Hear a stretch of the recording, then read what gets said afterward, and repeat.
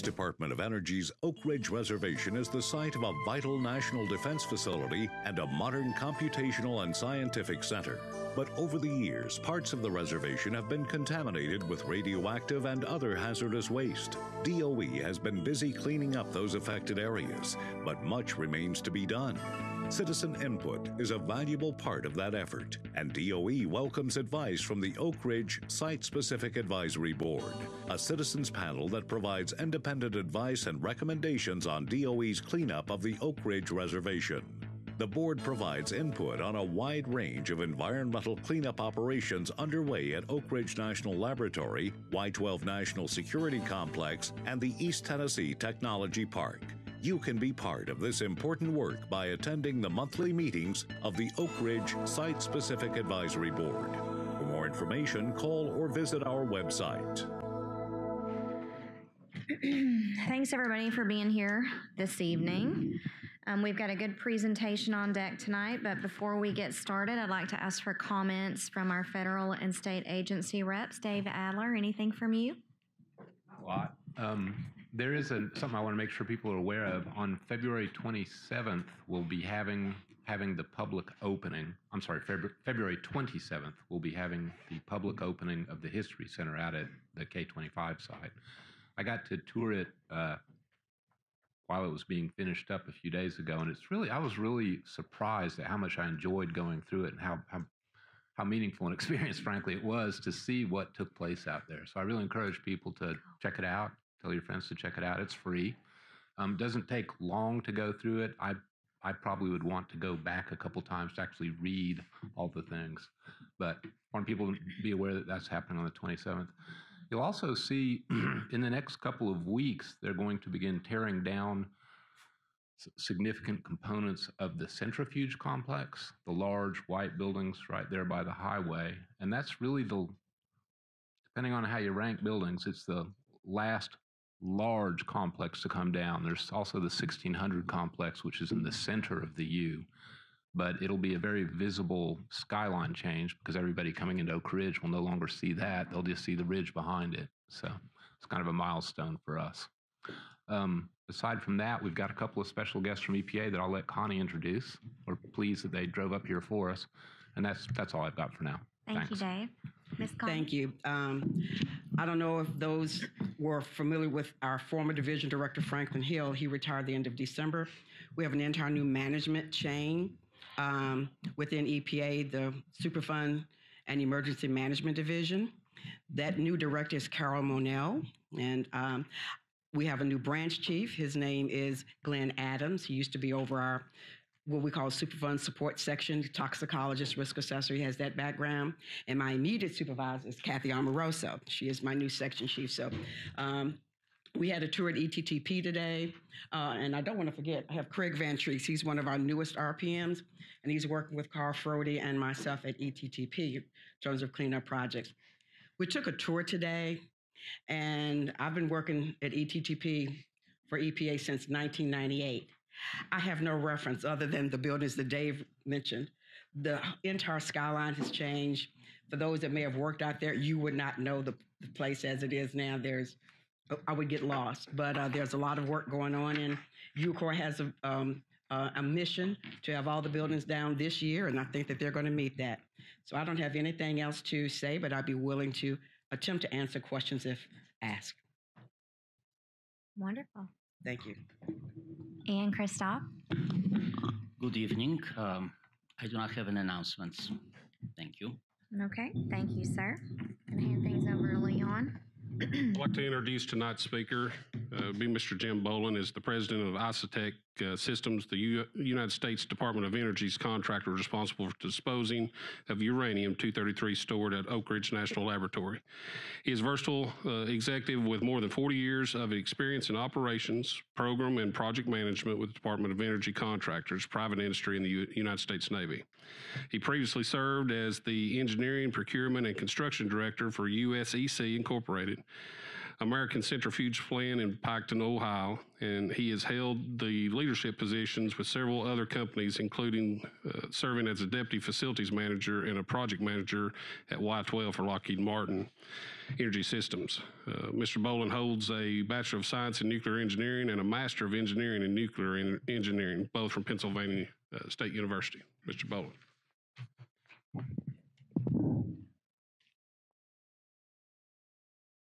Thank you. I'm uh, pleased to be here. And I'm also a UT grad. I'll point that.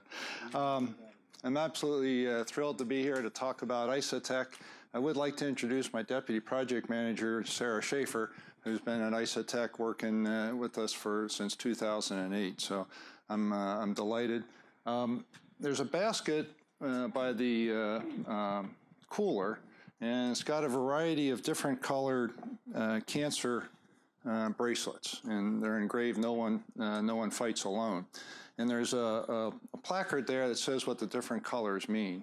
Lavender is the color for all cancers, and so you may wonder, you may think it odd that uh, the contractor whose task is to get rid of uranium-233 and put Building 3019 into stable condition for ultimate D&D is talking about cancer bracelets and and no one fights alone. You'll notice that uh, on our logo, we have embedded the lavender ribbon. And, and so when I talk about what we're doing, we at Isotek have had an, an extraordinarily rare opportunity to couple the mission of getting rid of Cold War legacy material and at the same time saving a rare man-made isotope that will have a future for cancer treatment. And so I'll talk about that. So it's pretty exciting for us. So I thought, you know, get the opportunity. The last time I think I was here was back when, when things were changing a bit. It was probably in the time frame of about 2011, and the federal project director was John Kruger. So just uh, for those of you that uh, are probably new to all this, I thought I'd tell you who is Isotek, where are we, what is our job, and, and what are we currently doing out there. So our, our task, as I said, is to dispose of uranium-233. It's a man-made uh, isotope. Way back in uh, the 50s, the scientists were worried that we might run out of uranium-235. And so there was an effort, the government probably spent billions of dollars for the manufacture to, of U-233. And over the decades of the 50s and 60s, there was a look and ultimately a determination that, well, maybe we really don't need the uranium-233. They identified, they, had some difficulties with it in the course of its manufacture in reactors. It drags along some other isotopes that make it a bit difficult to handle. And so in, in the early 60s, the government determined that the material should be stored in Building 3019 at Oak Ridge National Lab. So who is Isotek? We're an unpopulated LLC. That means all of our folks are employees of our parent company or subcontractors that work for us. Uh, we we, our parent company is Atkins Nuclear Secured here in Oak Ridge, and they are part of SNC Lavalin, a Canadian engineering and construction company. Um, up to about four years ago, we were owned or a subsidiary of uh, Energy Solutions, and uh, then Atkins, who was an engineering firm over in England, decided they wanted to buy the federal service part of Energy Solutions, so we got acquired in that. And not, not but a year later, SNC Lavalin said we want to buy all of Atkins. So we're owned by a foreign company, uh, and that's okay. We have about 180 people uh, at Isotek, and uh, we are at a variety of facilities, as you see listed there. And I'll show you a map then where it shows up. So Isotek is, uh, has been noted. We've had the, uh, were awarded the contract back in October of 2003.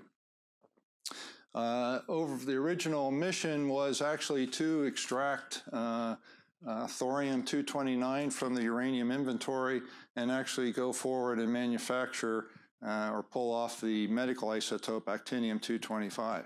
However, in the fall of 2005, Congress said, no, we don't know that there's a market for that, and they changed the mission and moved the mission from under uh, uh, nuclear energy over to environmental management.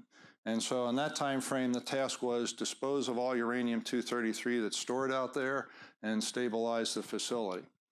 Uh, we proceeded down that path, and then in 2011, there was an evaluation done being looked at the whole method of disposing of the material, and it was determined that about half of the inventory could be removed from the storage tube vaults and directly disposed either for future program use or uh, for burial. And in fact, uh, that's uh, what we proceeded to do. Our contract is now a fixed price contract. It's been a fixed price contract since January of 2012. We have options in that contract, as you see up here. We completed the planning and design option. We've completed the direct disposition option, and now we're, we're ambitiously working on the processing option in the contract to go take care of the materials. The inventory started out with the 1,098 canisters stored in the storage tube vaults. And as you can see from the photo up there and the description, it was really a very mixed bag of uranium-233. It consists of everything from cans of oxide powder, which is AB powder-like or talcum powder-like in consistency, to pieces of metal, to ceramic monoliths, to uh, including sodium fluoride traps from the molten salt reactor. And so it was a, a very mixed bag. However, it was identified about half of that inventory we could we could take care of, and so part of it included what are known up here as zero power reactor plates, and, and the Department of Energy and NNSA have determined that there's a future use for those plates, and they've never, they are used for criticality studies, but have never been used. So we actually packaged those up and shipped those out, and they're being stored at a device assembly facility in Nevada for future program use. They've been turned over, transferred to NNSA. So we reduced that material. Then the cusp that you see, uh, we directly disposed. CUSP stands for Consolidated Edison Uranium Solidification Project. When the material was originally brought into uh, 3019 in the 60s, there were many gallons of uranyl nitrate sitting there, and ultimately it was determined that was the most stable form. In the 80s, that was converted into this ceramic monolith that was highly radioactive. Uh, it, it, contained a substantial amount of uranium-232, and so the dose on these cusp canisters was on the order of 150 rem per hour. We've directly taken those out of the vaults and, and in a Type B shipping uh, cask have shipped them out to Nevada, and they're buried under many, many feet of the Nevada desert at NNSS. So that, and then additionally, we've transferred about 15 canisters of very pure U-233 to Oak Ridge National Lab for future studies and use and, and their work. And so that constitutes getting rid of approximately half of the inventory. That still leaves us with over 500 canisters of material to dispose. That includes, as I've mentioned, oxide powders, metal, salts, uh, and other miscellaneous items. So where are we? Uh, the two nuclear facilities that we have custody of and take care of and maintain for uh, uh, DOE include Building 3019 and Building 2026, and I'll talk a little bit about those. We additionally have our people in uh, uh, facilities 3017, which was a laboratory facilities built in the 50s. It's it got office space now. Uh, we also have another facility 3137 that has offices, as well as building 2040. And for those that are familiar with the lab, you might know it as the ProtoServe building out there. And then lastly, we're at 701 Scarboro and office space there.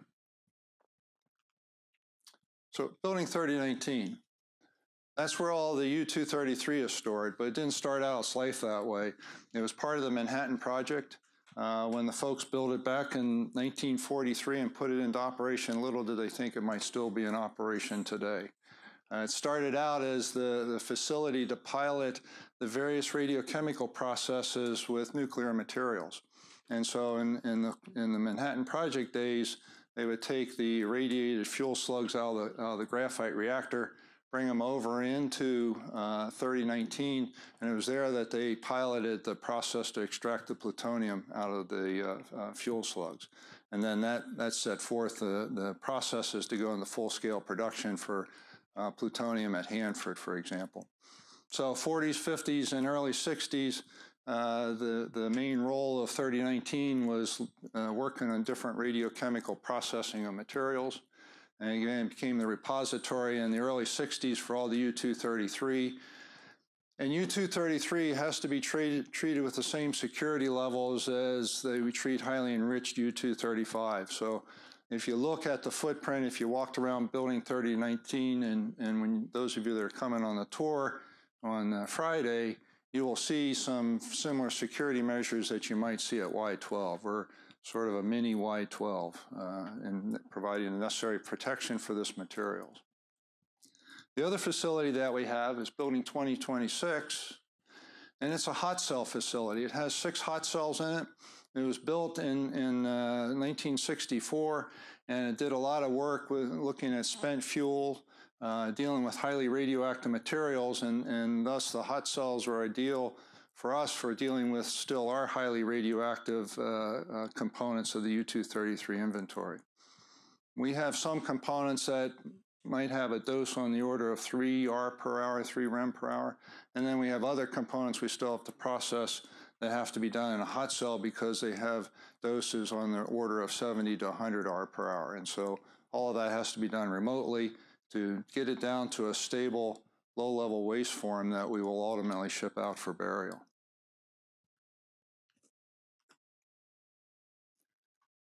I'll talk about this. So th this is where the cancer part comes in. It's pretty pretty um, interesting.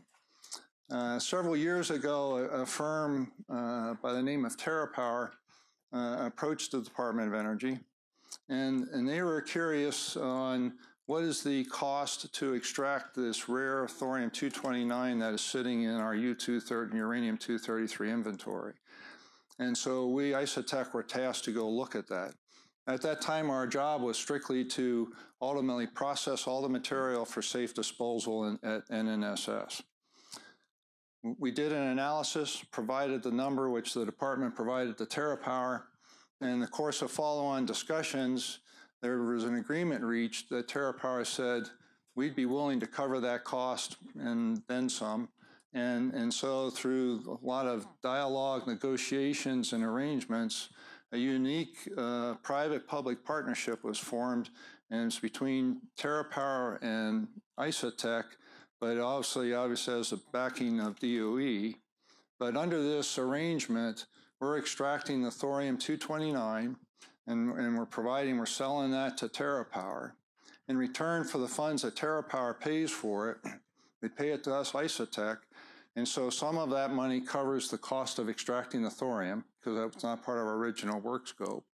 The balance of it is able to apply towards the cost of processing the uranium-233. And so that feature, coupled with it allowed us to accelerate our overall processing schedule, we were able to bring back to the government a benefit and a savings on the order of 90 to 100 million dollars and accelerate the processing and, and disposal of U-233 in the inventory and recover this rare isotope that I'll talk a little bit more about. So what's Isotek's part? So we've got an early jump on it and we're doing the initial processing in glove boxes. And so to give you an overview of what the process looks like, I'd like to play this video. You've been hearing all about glove boxes lately, but what exactly are they? Well, the glove boxes are the heart of the Thorium Express. It's where the thorium will be extracted from uranium. And this is how it's done. There are three glove boxes, all connected to each other. Uranium is delivered to glove box 1 and divided into samples. Then a sample is moved to glove box 2. There, uranium is poured into the dissolution beaker and mixed with nitric acid. This creates uranyl nitrate with bits of thorium and plutonium inside. After everything mixes, the solution is then pumped into a feed flask. From there, the solution is pumped into the first column, the transuranic column. This column contains extraction resin that plutonium is highly attracted to. The same way static electricity can cause styrofoam peanuts to stick to a cat's fur, the extraction resin causes plutonium to stick to it as the solution passes through the column. This leaves only uranyl nitrate and thorium left in the solution. To get the thorium out of the solution, it's put through another column, conveniently named the thorium column. The same extraction resin is in this column, and it's also attractive to thorium, just not as much though. So the solution is pumped slower through this one, about six times as slow as it was pumped through the previous column. Thorium couldn't stick to anything previously because the solution was being pumped too fast, but this time it has plenty of time to stick to the extraction resin. After the solution is done passing through the column, uranyl nitrate is the only thing left. So it's pumped into a reservoir that will be put into a grout drum for disposal. Now we have our thorium, but it's still stuck to the resin. Won't do much good there, right? To get the thorium off the resin, a lower concentration nitric acid is pumped through the thorium column. The lower concentration has properties that will ground the ionic charge on the thorium and release it from the resin, creating a new solution of nitric acid and thorium. Now on to Glovebox 3. The nitric acid and thorium solution is put into a thorium product bottle and run through an evaporator held over a water bath. The nitric acid evaporates away, leaving just the thorium left in the container. Now we have our final product, about 70 milligrams of thorium ready to be shipped out to revolutionize the fight against cancer. I know what you're thinking. All that for 70 milligrams? Well, think about it like this a nanogram of thorium, a millionth of a milligram, has more than 100 times as many atoms as there are cells in the human body. So 70 milligrams is a really gargantuan amount of thorium and will go a long way towards helping in cancer treatments.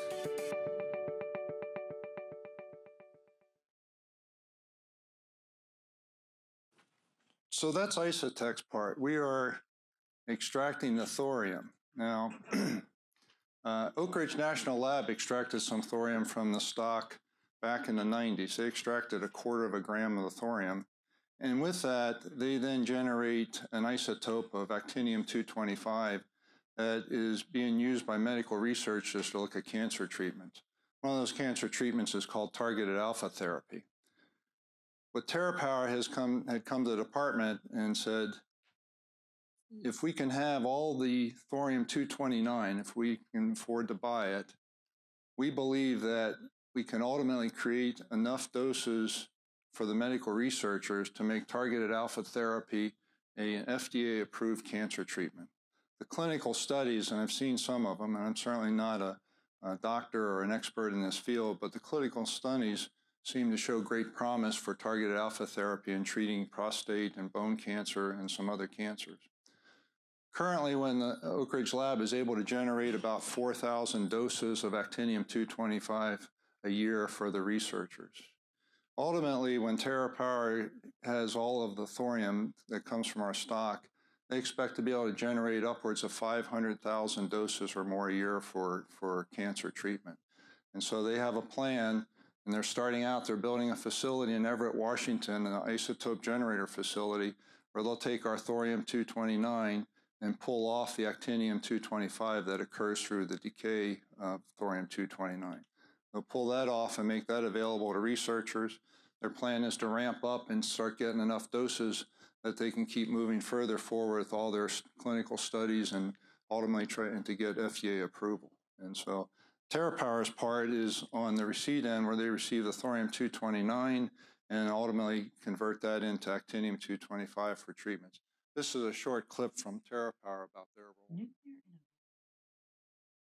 Nuclear innovation is a way of looking at the world. Beyond clean energy, nuclear science brings tremendous benefits and offers solutions to our greatest challenges. In the United States, cancer remains one of the leading causes of death. Every year, nearly 2 million Americans are diagnosed with cancer. That's roughly 4,600 people every day. One promising treatment is targeted alpha therapy using the rare medical isotope actinium-225. Targeting molecules bind to specific proteins expressed by cancer cells. A specific molecule will bind to a specific type of cancer. Right now, there are only a few sources of actinium-225 to support continued advances in this important medical research. This is where nuclear innovation comes in.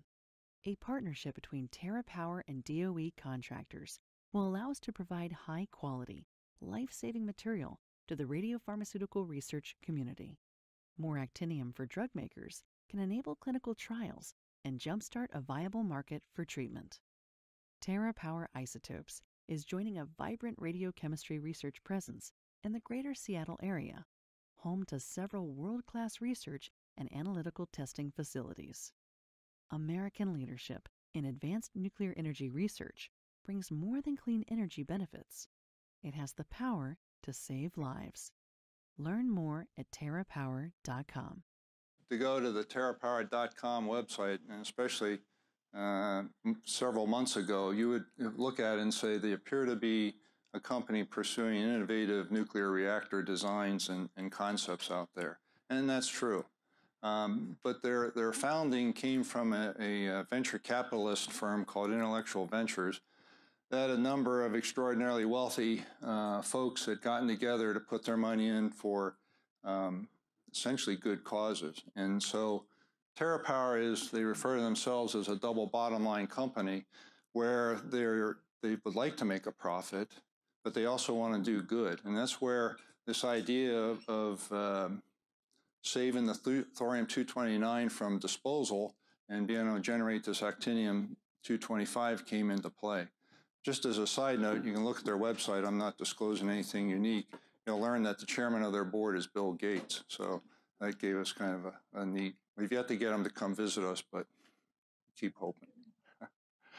so to talk about currently at, at we started into glove box operations, and it's part of the whole accelerated process to, to ultimately dispose of the U-233, but also to recover the thorium-229. So we started our first uh, glove box operations here in, in October. We've actually have processed six cans of material doesn't sound like much, but out of that six cans of material, we've extracted uh, nearly a quarter of a gram of thorium. We've extracted almost as much thorium as what Oak Ridge National Lab currently has in hand. And so, and we'll continue on the path to ultimately keep extracting it and delivering it to TerraPower. But these are some photos that talks, this is kind of the real life pictures of what you saw in the video. It starts with our people bringing a can out of the 3019 storage tube vaults and moving it over to 2026. The cans that we're currently processing are low dose cans, so our people can handle them in lightly shielded containers with extended reach tools and, and not have to have heavily shielded uh, containers to move the material. And so as you can kind of make out up there and look at that, we do it with stuff as sophisticated as a little cart to uh, safely haul it. It's literally hauling it across the street from one building to the other. Um, once they get it into the building, they then open up the can in glove box one. And in glove box one, they will dump out about half of the contents. And that's the uh, oxide powder, gives you a shot there. So they'll dump out about half of that uh, into the batch cup and they'll move it into glove box two, where is where we add the nitric acid dissolve it, convert it into uranyl nitrate, and then run it through the two resin beds that uh, we showed in the video there. And in that second resin bed, it pulls off the thorium. Uh, our folks have had um, uh, have uh, worked well and, and have achieved pretty high efficiencies in extracting the thorium. We're not leaving much behind, and uh, and so we uh, keep working it. Once the the uranyl the um, uranyl nitrate's been run through the two beds. It gets the, what's left over gets dumped into a, a grout drum and gets rocked up. It's a 55 gallon drum that now will be buried as low level waste in, in Nevada. But the, the uh, thorium is now eluted off of the resin bed and taken over to glove box three, where it's then uh, dried in a water bath, and you end up with this very precious film of thorium 229 on a glass vial. And it's that that we then package up for uh, shipment to TerraPower out in Washington State. We've made five shipments. We have the sixth one ready to go. They'll be shipping it out in the very near future. And, and they're gearing up their facility uh, to start processing and, and generating the actinium isotopes in the uh, late spring, uh, early summer timeframe. I, I will share with you um, when we presented this approach and doing the glove boxes to DOE, we set a hard line in the sand for ourselves, and and we said in uh, August a year ago we wanted to be processing a year later, and and we literally started in building 2026 with an empty room that used to have glove boxes in it. We didn't have any glove boxes. We went out and with with uh, used Tennessee Tool here in town, then to go fabricate glove boxes for us. And so in a year's time, we outfitted the room with glove boxes. We qualified our operators to do the work. We went through the DOE requirements to start up a nuclear operation, and we were operational in September.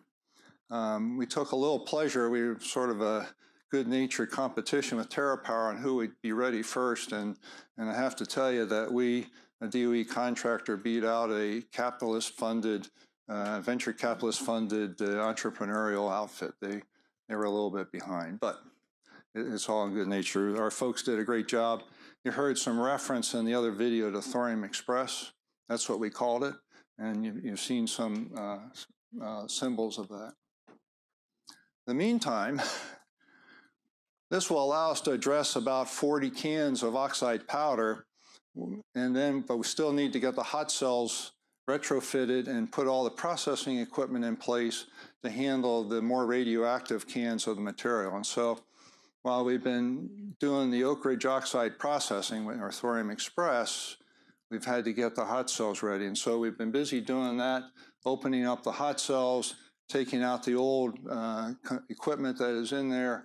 We're in the process of replacing all the manipulators, and we're building the whole dissolution and downblending systems to go do the same thing that we're currently doing in the glove boxes, but on a larger scale and to handle all the materials, not only the oxide powders, but the metal and the, and the RCP06 ceramic monoliths that we have. And, and then just to give you a sense, we, we do our best to, to keep the money locally.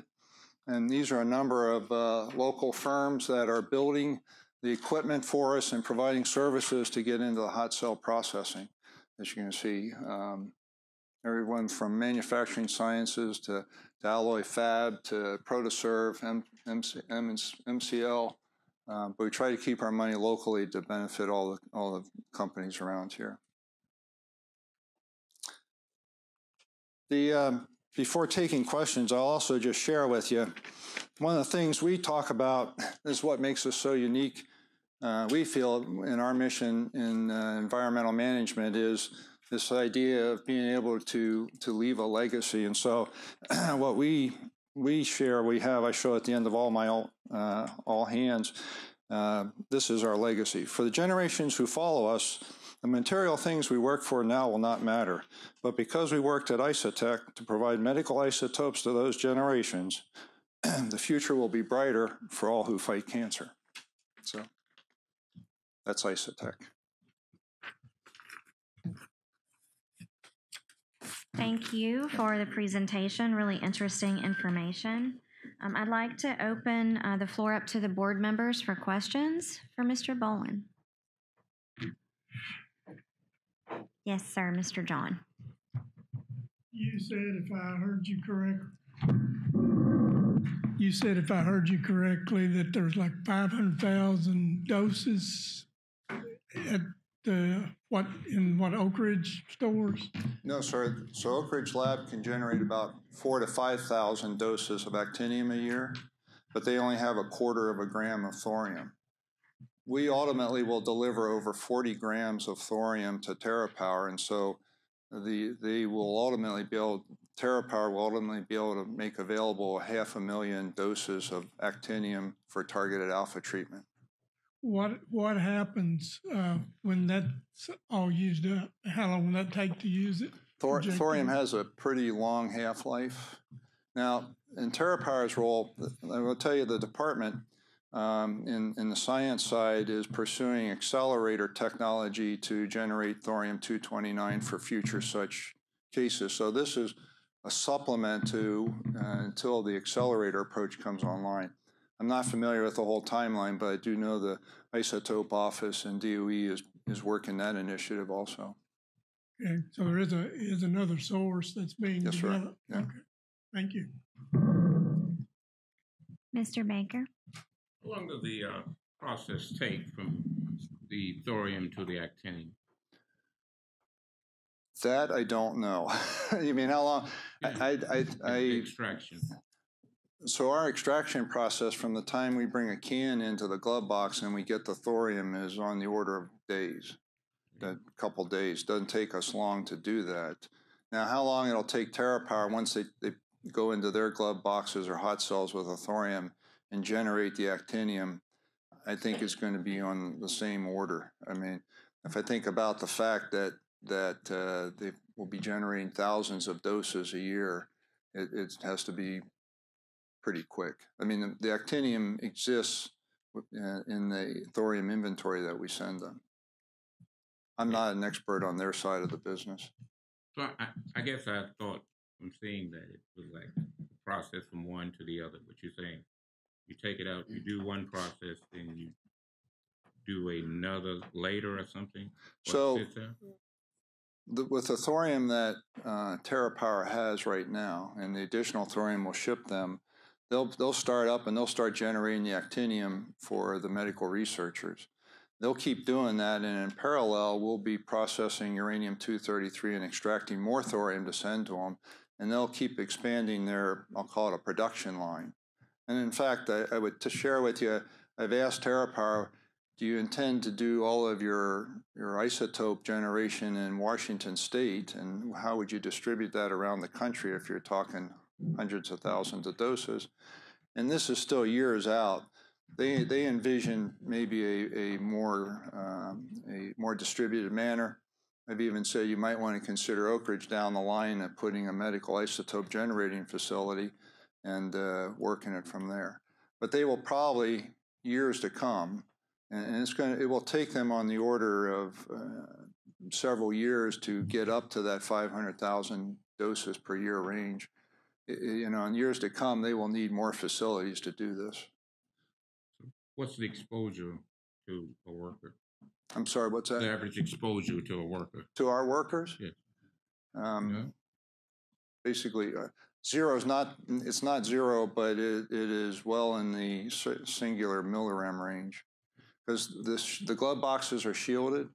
Um, I think for the first can that we processed, and Sarah, correct me, the doses to all the workers there, the collective dose was on the order of 10 millirem. On the first pass through, I think it was a little bit more, but as they gained efficiency, you know, we were down to about that. Yeah. And that's something we have, um,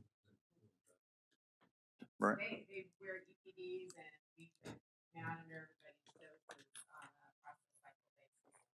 EPD is an electronic personnel dosimeter. So, mm-hmm.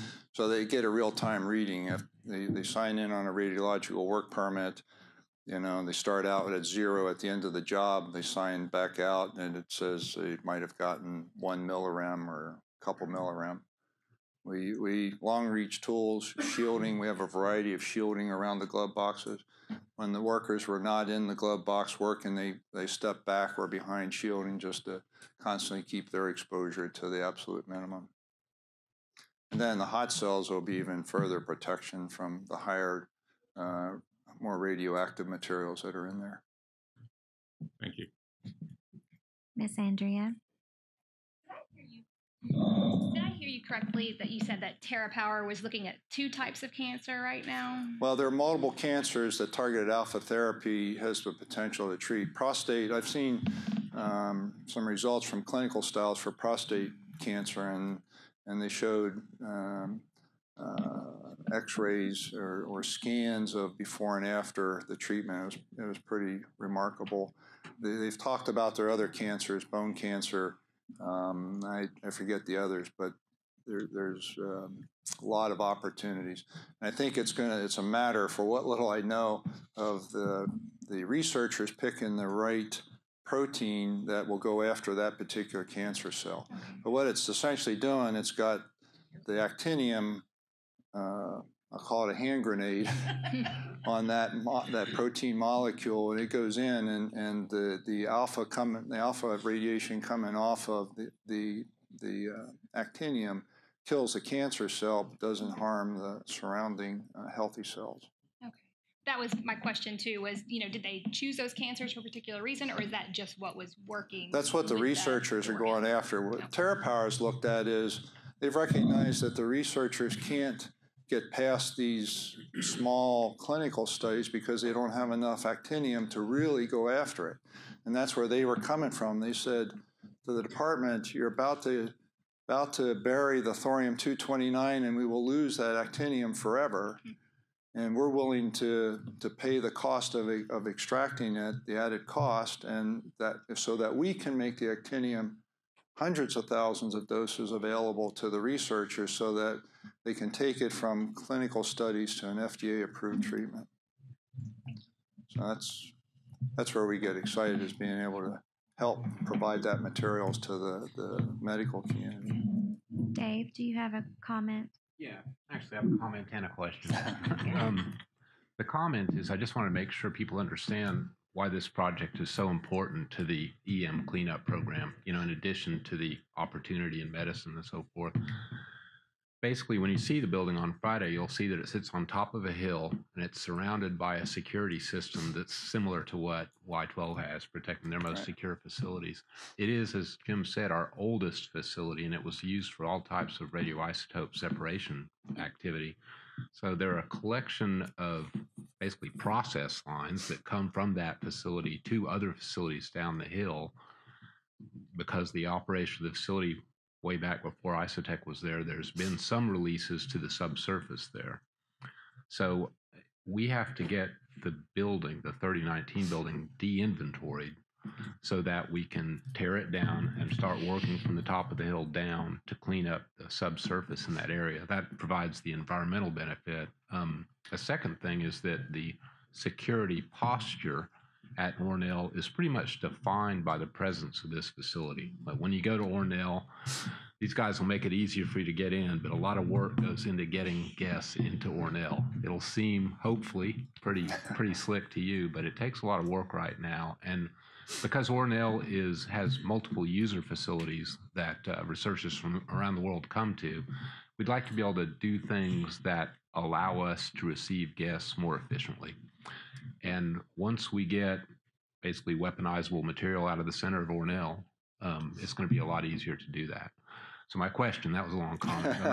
sorry about that. But my question is, uh, under current projections, and I know they can change based right. on budget, how long will it be before we expect to have cleaned out the 3019 building of the U233 that you guys are focused we're, on? We're looking uh, into it's into 2025, maybe as late as the third or fourth calendar quarter of 2025.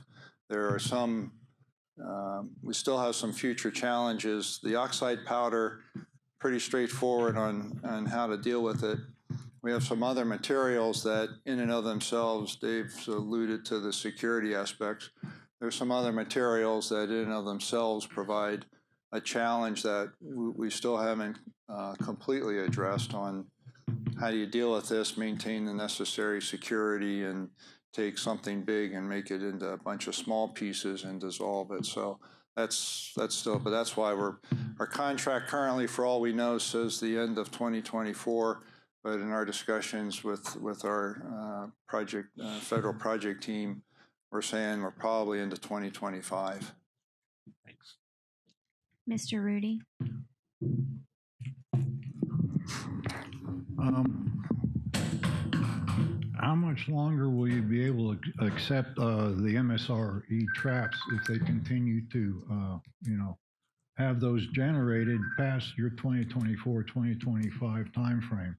Or that's a question for Dave. Dave, do you think they're going to have traps after that? if it's a question for Dave, Dave doesn't know the answer. I'm, I'm sure there will be a plan in place well before we face that challenge. So in other words, basically, you'll be able to accept those, and then after they're gone, what's going to happen with the traps after that? Nathan, do you know the answer to that question? Yeah. Go ahead and answer. Ideally, we won't need the traps anymore based on the new system. So your RG, RGRS system is to be going away? Well, it, it'll be modified significantly. Um, Bill had a Bill had a previous presentation on this, and you could probably pull it up. The last one we had here talked about those improvements to uh, MSRE. So ideally, we won't have to have traps. Okay, so your NAF traps and RGRS traps are going to be going away, and based upon your current projections, correct? Yes. Okay, so basically that answered my question. But you still, uh, do you, do you have any in the inventory that you're gonna have to send them? Yes. Okay. Thank you. Yeah. Thanks, sir. Miss Harriet? I kind of look at this from the point of view of a, an educator. People are where does the training come from for the people who actually carry out these processes on a day-to-day basis? Where do you get your employee force? So um, we, we tend to hire our employees from um, competitors, if you will. You know, it's it's so that uh, in-house we get some folks that have come from Y12, some from come from TWPC. Um, we have operators that and supervisors that have come from MSRE many years ago, joined Isotek. Uh, we will get um, we'll get RadCon technicians uh, have come from uh, either the DOE environment or from commercial nuclear. And then we have our own um, certified training plans to train up the operators in-house to be fissile material handlers, to be manipulator operators. So we have a, our training program is approved, is reviewed and approved by DOE, meeting DOE requirements, and so it has to, to meet those. Same with our RadCon techs; they have to qualify as uh, uh, RadCon technicians, again under an approved training program. Mr. Bill. Been a long time since chemistry. Is thorium a naturally occurring element? There are isotopes of thorium that are naturally occurring. As one There of are. these other sources of it besides Well, this the the, the particular thorium that we have, thorium two twenty nine, is only man made. It only it occurred because of of uh, it comes from the decay of thorium or of uranium two thirty three is where thorium two twenty nine comes from. So this particular isotope of thorium is a man made source, which which decays to the actinium that will be used in the treatments. Do we have any guests this evening that have a question? uh, so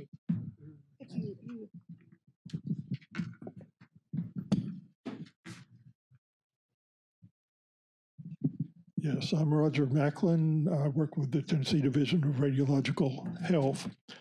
Uh, I did my master's research out at Oak Ridge National Laboratory, and my father worked there for many years in the neutron physics division. And he had a, a postdoc come over from Australia back in the 80s, I guess. And that fellow was like nine years older than me, so we became good friends, and we all, with my dad, went canoeing, hiking, and all kinds of stuff. When he, um, Mr. Barry Allen, Professor Barry Allen, returned to Australia, he started working in uh, boron neutron capture therapy for cancer research, and eventually moved on into targeted alpha therapy at the time that the DOE program was being shifted over to EM, and it looked as if uh, I think Congress had basically said you can't spend any money but for disposal. And I, I communicated with, uh, I stayed in touch with him and communicated with him, and he was at the time the uh, president of the International Organization of Medical Physics. Uh, there was public comment period, and I asked him to draft a letter to Brian Demonia of DOE regarding uh, getting the thorium 229 available for cancer research. The, if I recall, the DOE response was something like, "Well, maybe if Sloan Kettering Memorial Cancer Center in New York City came f- forth with the money, then we could do something." And uh, the letter from uh, Dr. Allen mentions uh, the different types of uh, highly promising phase one clinical trials that we're doing for melanoma, leukemia, glioblastoma, which is brain cancer, and lymphoma. They plan to new trials for pancreatic and prostate cancer. And seems that uh, if anyone is interested, I have some more copies of this letter, and I would like to have one put in the record if there is that possibility. But certainly, uh, I commend Isotek and TerraPower and DOE for accomplishing this rather than putting it all in the ground. Thank you. Luther. Uh, yeah, yeah, I'm, I'm, I'm uh, Luther Gibson, former board member and contractor employee. Um, I know the defense nuclear, th- this thing's got an echo or something in it. Uh, All right. Um, the Defense Nuclear Facility Safety Board reviews your operation pretty closely. And uh, uh, on October 7th, the board sent a letter to, to the Secretary of Energy stating that, that the accident analysis used in the building 2026 preliminary documented safety analysis used a different release fraction value than recommended in the DOE handbook, and, and that might result in a, um, an accident analysis uh, consequence that was not conservative. Did, uh, did did y'all get that letter, and do you recall having to address that? We did, and we received the letter and and we addressed the, our technical basis for the analysis that we did and, and, um, and, uh, DOE has agreed with the approach that we've taken. Um, the Defense Board has presented, uh, um, an extraordinarily conservative, uh, view, but, um, what we've presented still maintains the safety envelope of the facility and keeps the workers safe. Uh, let me tell you, on that, on that particular issue of using bounding um, release fraction values, they're, they're pretty dogmatic about that. I worked at Y12 and ran into that too. Right, yes, sir. Yes, sir.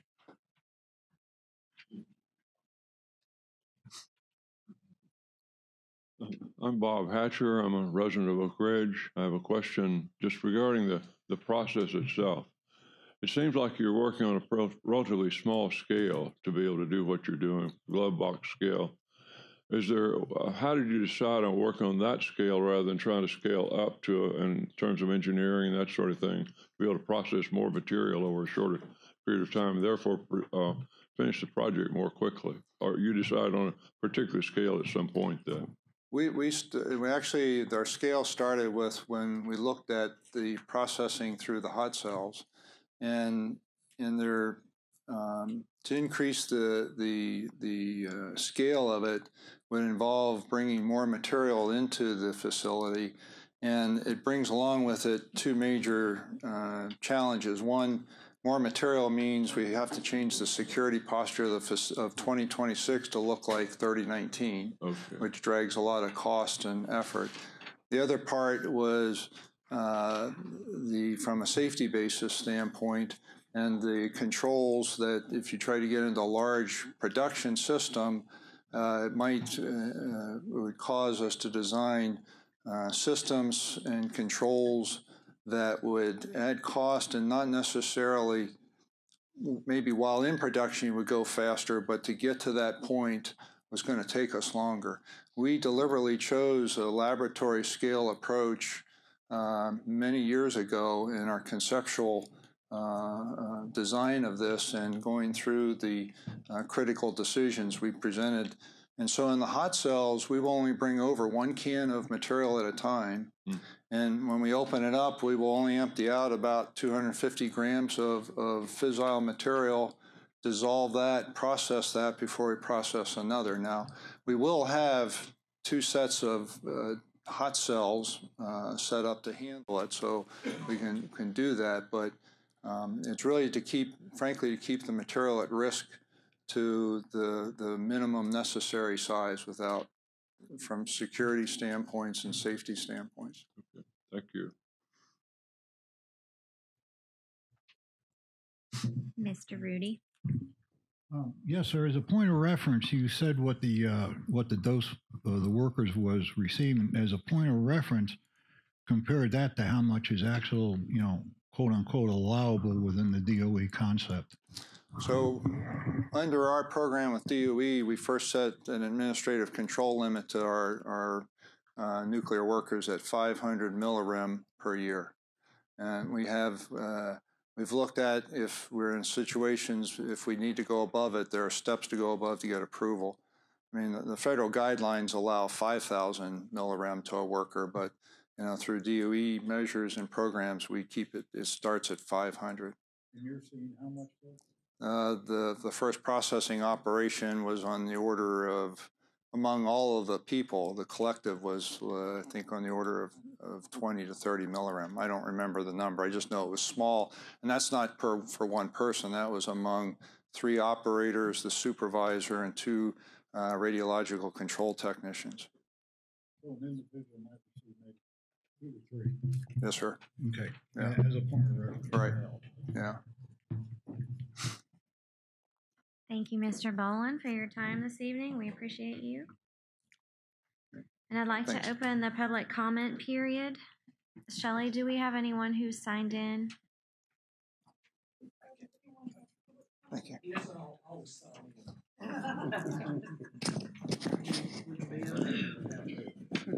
Please use the microphone and state your name. Please keep your comments to three minutes. In a former board member and retired contractor employee. Um, uh, ditto comments I made at previous meetings. It's now been 225 days since the EM Consolidated Business Center announced and is still announcing that a draft request for proposal for the Oak Ridge Environmental Cleanup contract will be issued within 15 to 16, 15 to 60 days. Sorry. Uh, another thing, at the executive committee meeting last week, I suggested that a half-day workshop be considered for the ETTP main plant groundwater feasibility study.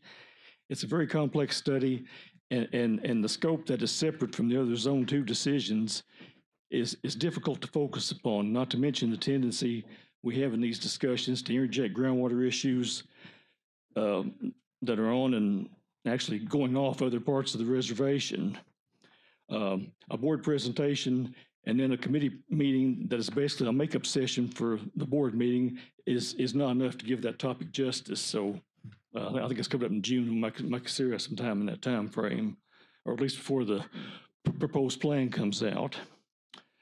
Um, this is also one of the decreasing opportunities, uh, rem- decreasing number of remaining opportunities to consider the implications of what long-term stewardship is going to look like at ETTP. Okay, and then on Monday, the um, president's budget was released, and um, the numbers I saw in there was for the uh, uh, the defense envir- environmental cleanup.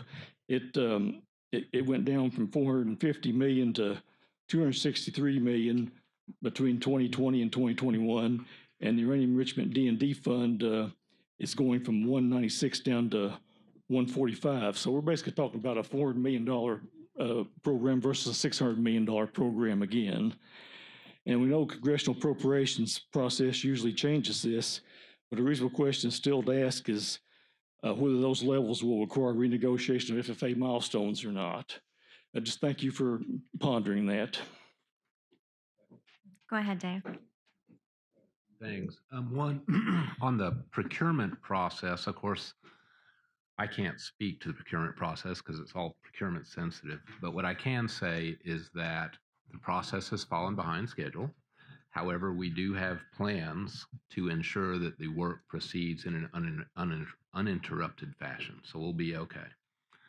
Um, on the groundwater thing, we will make sure that there are lots of ample opportunities for people to understand what we're doing in the feasibility mm-hmm. study. And we're not going to just wait to issue a proposed mm-hmm. plan and then take formal public comment. We'll do it the way we mm-hmm. normally do it with this group, where we give all the briefings the group wants to understand what we're learning through the feasibility study. And the last thing, were you referring to the president's budget? Uh, yes. Yeah, so that's always a challenge. Um, you know, at any given time, we're working on three budgets. We've got the mm-hmm. budget that Congress has already given us, which in the case of this year is very ample. We got The U.S. Department of Energy's Oak Ridge Reservation is the site of a vital national defense facility and a modern computational and scientific center. But over the years, parts of the reservation have been contaminated with radioactive and other hazardous waste. DOE has been busy cleaning up those affected areas, but much remains to be done. Citizen input is a valuable part of that effort, and DOE welcomes advice from the Oak Ridge Site Specific Advisory Board, a citizens panel that provides independent advice and recommendations on DOE's cleanup of the Oak Ridge Reservation.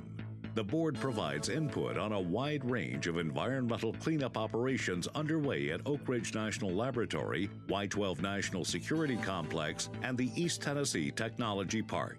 You can be part of this important work by attending the monthly meetings of the Oak Ridge Site Specific Advisory Board.